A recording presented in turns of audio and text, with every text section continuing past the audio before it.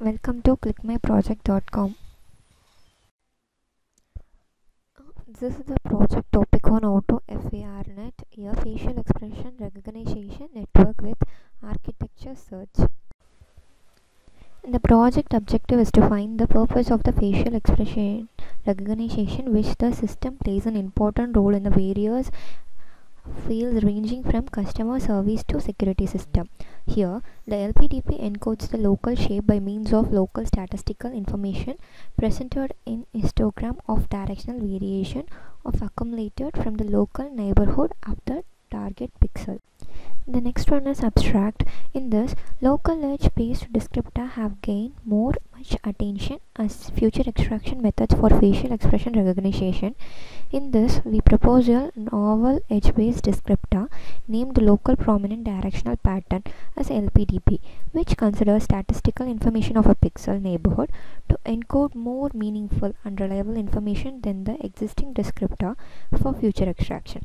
In this, LPDP helps us to examine a local neighborhood of a pixel to retrieve significant edges and corresponding to the local shape and thereby ensures encoding edge information in spite of some spatial variation and avoiding noisy edges.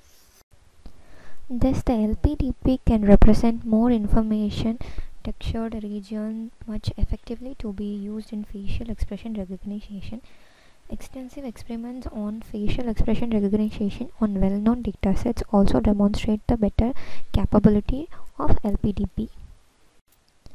This is the system architecture diagram of the project. Here the first one is facial expression dataset and then a process which is continuous by pro pro pre-processing methods, feature extraction and classification and performance measure and the next one is flow diagram. In this flow diagram we can see the exact process of the project. The first one is dataset dataset which it contains the facial expression images of human beings as a total number of uh, images combined to make the dataset and the next step is input image where we can get the single image as input from the dataset and the next one is image processing. In the image processing we are processing the image like pre-processing we use the resize recrop and we convert that the image to rgb to gray. And the next process is feature extraction.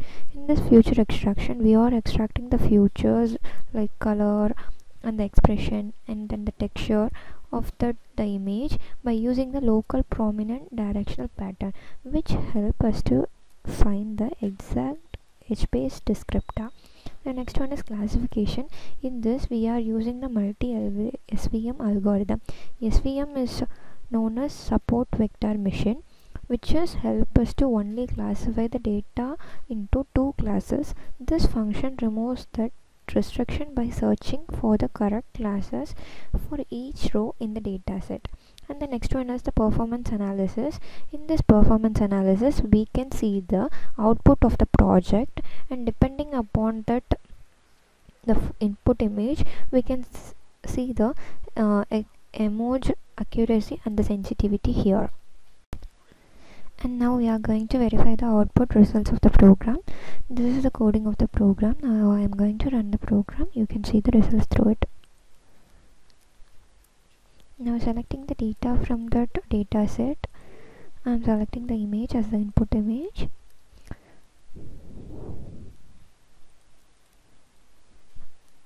Look at this.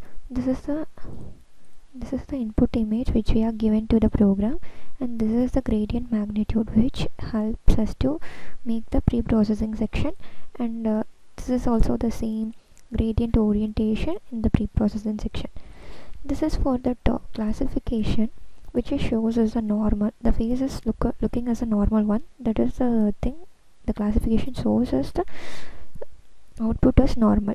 And now we are going to see the uh, performance analysis like uh, now we are going to see the performance analysis of the pro program. See this is the accuracy sensitivity specificity occurs in this program. And the accuracy of this project is about 92.2166